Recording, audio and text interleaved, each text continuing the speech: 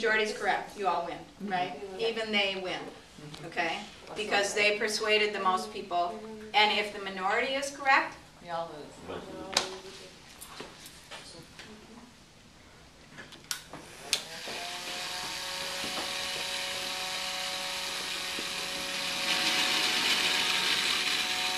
Ah, Won that,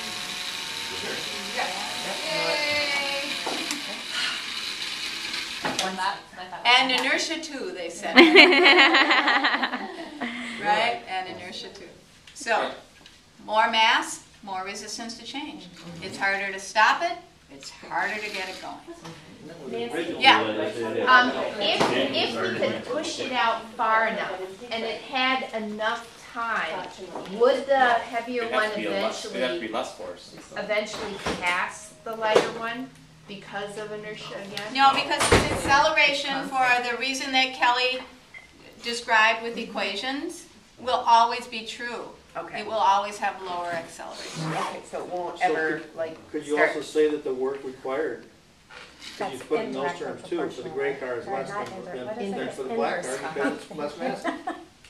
The- And you, Just- and you introduce the same amount That's what I was of trying to work say. Yeah. into the, sca- ener- you introduce the same amount of energy into the system. Directly or inversely. Yeah, But because of inertia, the gray one, less inertia, the gray one they're both gray. got back faster. So could you It's use, more a- could distance. you use a too, though. work, But it was more distance. I could go and Yeah. use a work explanation, but because we haven't really talked about energy Oh. yet, mm-hmm. but we will, Oh, it, it's just gonna be Okay, too all right. scattered. yeah. But yes, you could do it.